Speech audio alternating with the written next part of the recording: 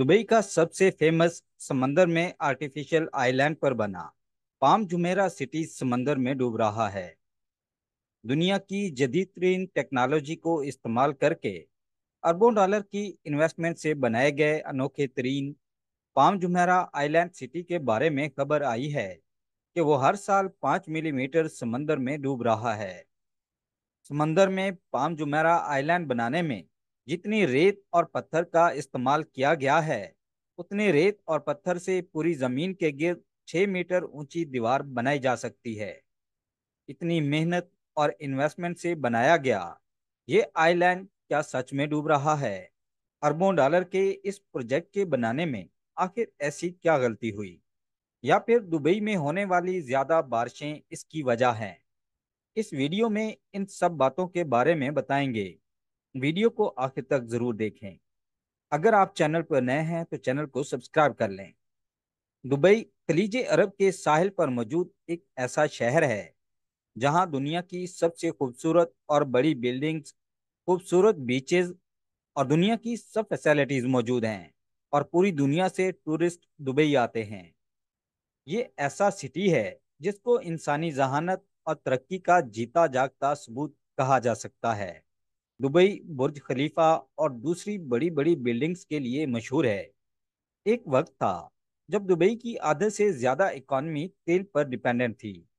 इसलिए दुबई ने ऑयल की आमदनी पर अपना इन्हसार कम करने के लिए दुबई में ऐसे प्रोजेक्ट शुरू किए कि दुबई पूरी दुनिया के लिए टूरिस्ट और मल्टीनेशनल कंपनीज़ के ऑफ़िस का हब बन गया।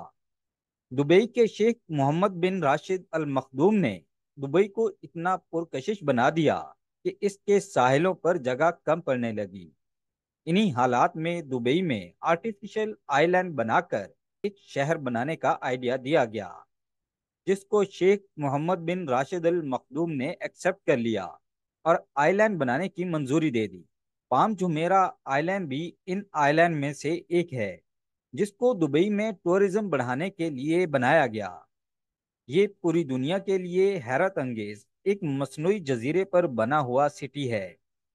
इस आइलैंड को पाम ट्री की शक्ल का बनाया गया है, इसलिए इसका नाम पाम जुमीरा रखा गया। पाम जुमीरा पर आलिशान होटल्स दुनिया के सबसे लग्जरी विलास और खूबसूरत बीचेज हैं, लेकिन रिपोर्ट्स के मुताबिक दुबई का ये 12 बिलियन डॉलर की लागत से बनाया गया खूबसूरत पाम जुमेरा समंदर में डूब रहा है। आखिर इसकी क्या वजह है? और पाम जुमेरा को बनाते वक्त ऐसी क्या गलती हुई थी? पहले बात करते हैं पाम जुमेरा आइलैंड के कंस्ट्रक्शन के बारे में। पाम जुमेरा आइलैंड को बनाने पर 12 बिलियन डॉलर की लागत आई। इस जजीरे को बनाने के लिए 5.5 मिलियन क्यूबिक मीटर पत्थरों को शिप्स पर मंगवा कर समंदर के बीच डाला गया और 120 मिलियन क्यूबिक मीटर रेत को समंदर से निकालकर आइलैंड वाली जगह पर डाला गया। आप सोच रहे होंगे, दुबई में इतना बड़ा रेगिस्तान है और रेत की कोई कमी नहीं तो फिर समंदर से रेत क्यों निकाली गई? और इस रेगिस्तान से रेत को उठाकर समंदर में क्यों नहीं डाला गया? दरअसल इंजीनियर्स के मुताबिक सहरा की रेत पतली होती है, जो समंदर में जाते ही पानी के साथ बह जाती है। अगर दुबई के सहरा से रेत उठाकर यहाँ डाली जाती और इस पर आइलैंड बनाया जाता तो कुछ ही सालों में वो रेत बह जाती और पूरा आइलैंड खत्म हो जाता। इसलिए दुबई के साहिल से 10 किलोमीटर दूर पर्शियन गॉल्फ में समंदर की तह से रेत निकालकर इस आइलैंड वाली जगह पर डाली गई। समंदर से रेत निकालने के लिए एक खास मशीन ड्रेजर का इस्तेमाल किया गया, जो समंदर के बॉटम से रेत को सक करके अपने टैंक में भर लेता है। सिर्फ़ एक घंटे में ये ड्रेजर 8000 टन रेत अपने टैंक में भर लेता था और फिर कंस्ट्रक्शन साइट पर लाकर ये रेत मशीन के ज़रिए यहाँ डाली जाती थी। ये पाँच किलोमीटर लंबा और पाँच किलोमीटर चौड़ा आइलैंड है।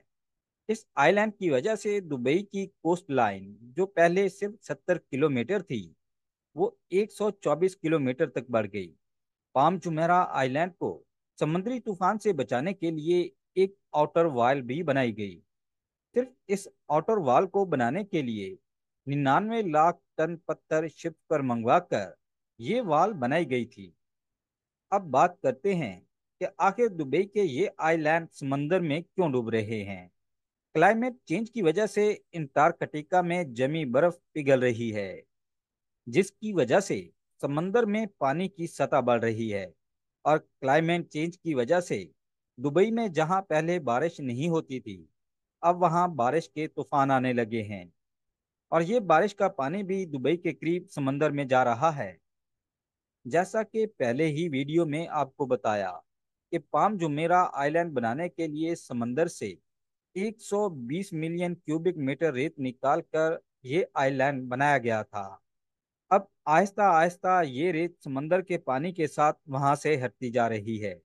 और समंदर में पानी की सतह भी बढ़ रही है, जिसकी वजह से दुबई का ये सबसे खूबसूरत सिटी समंदर में डूबता जा रहा है। लेकिन दुबई के हुकाम पाम जुमेरा की साख को मजीद मज़बूत बनाने पर काम कर रहे हैं। दुबई ने तेल की आमदन पर अपना इनहसार कम करने के लिए तेल की आमदनी को बड़ी बड़ी बिल्डिंग्स और टूरिज़्म को बढ़ाने पर खर्च किया और आइलैंड बनाए। लेकिन टेक्नोलॉजी और दूसरे बिजनेसेस पर इन्वेस्ट नहीं किया। आप क्या सोचते हैं? दुबई के हुकाम का ये फैसला सही था या गलत? कमेंट्स में बताइए। दुबई के पाम जमीरा आइलैंड के बारे में इंफॉर्मेशन इंटरेस्टिंग लगी हो तो वीडियो को लाइक ज़रूर करें। वीडियो के बारे में कमेंट्स करें और मज़ीद वीडियोस के लिए चैनल को सब्सक्राइब कर लें। शुक्रिया।